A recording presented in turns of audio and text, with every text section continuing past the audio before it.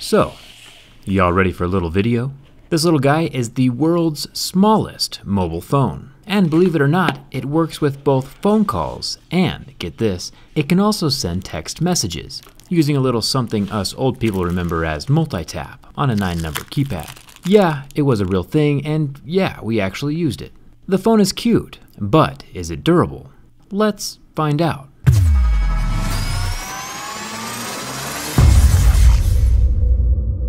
This minuscule cellular device is from a company called Zanco, and as we know, any name that starts with Z is a good name.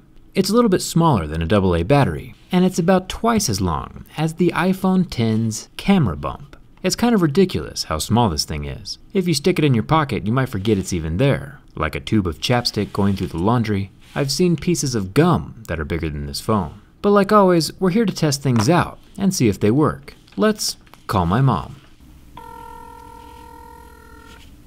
Sorry to miss you. Leave a message, thanks.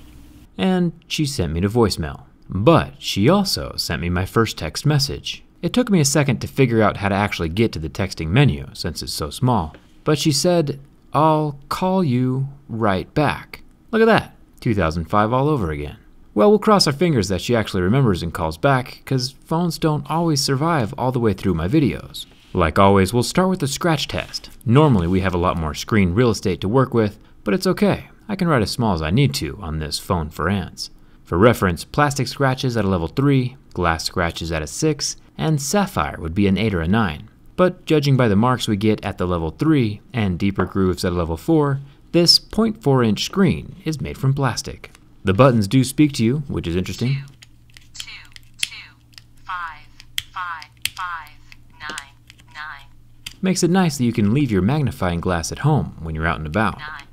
The buttons are made from plastic. Not a big deal since realistically, I don't think anyone's going to be texting novels on this thing. The sides are made from plastic.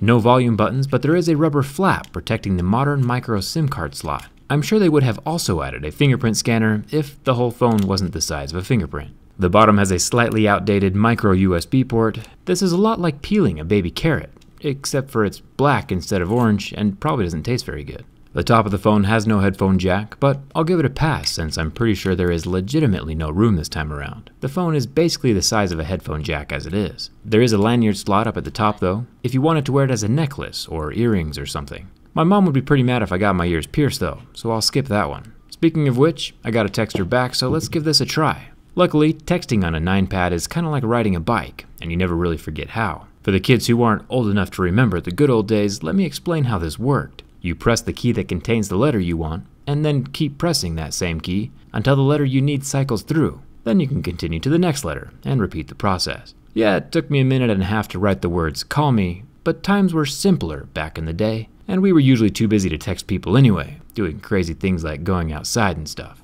Oh, hey, look, it's my mom. Hello? Hi, can you hear me? Uh-huh. Yeah, it sounds like I'm on speakerphone or something, but I can hear you. We are currently talking on the world's smallest cell phone. Oh, wow. It's not bad. Yeah, there's a speaker, there's a loudspeaker on the back, and then a couple little microphones, and it's a little bit smaller than my thumb. Um, and so this is the only way it can sound. Yeah, there's no uh, there's no better way. How does it sound on your end? Sounds a lot like a speakerphone. All right, I think that should work. Okay, I will uh, see you tomorrow. And there you have it. It sounds like a speakerphone on the other end, probably because speakerphone is the only option with this thing.